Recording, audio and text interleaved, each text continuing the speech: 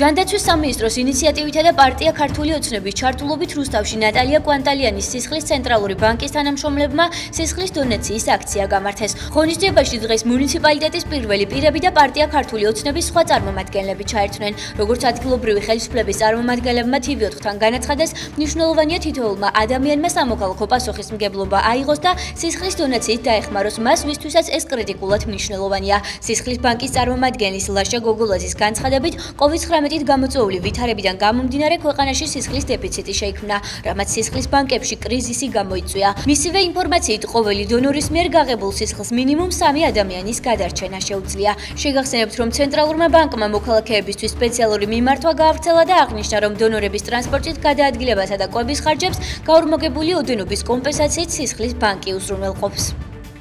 შექმნილ სიტუაციასთან ვითარებიდან გამომდინარე, მთელი ქვეყნის მასშტაბით ყველა კლინიკასა და საავადმყოფოში შეიქმნა დეფიციტი სისხლთან დაკავშირებით, რაც იმას ნიშნავს, რომ პაციენტებს პაციენტები ელოდებიან ადამიანებისგან მხარდაჭერას, დახმარებას სისხლის დონაციასთან დაკავშირებით.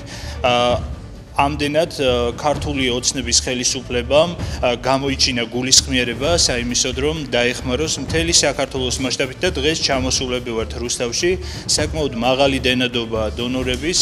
უდაოდ ძალიან მნიშვნელოვანია რომ თითოეულმა ადამიანმა გამოიჩინოს თავისი სამოქალაქო ვალდებულება. რა თქმა უნდა, ერთ-ერთი მნიშვნელოვანია, რომ არ შეიქმნეს სისხლის დეფიციტი ქვეყანაში, რადგანაც ვიცით, რომ ზოგადი მდგომარეობა საკმაოდ რთულია.